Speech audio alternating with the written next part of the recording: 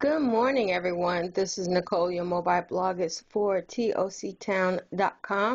And today I am on the Express. So thanks so much for stopping by my TN channel, which is also known as my retreat channel, where I supply tips, tools, and planner techniques for the everyday urban planner. And today I wanted to share with you my latest uh, curated planner that I acquired.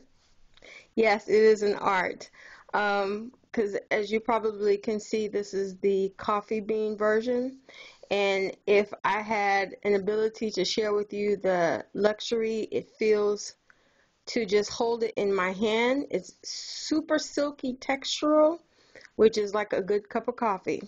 So it is 2018 and it's dated from April of 2018 all the way to March of 2019.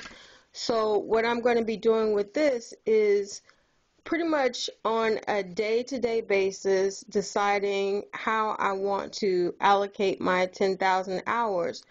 As you know, if you've been following my retreat channel, then you know a lot of the times I like to write separate from you know, working, spend some time just, you know, poring over the research material that I've found in and around the local city.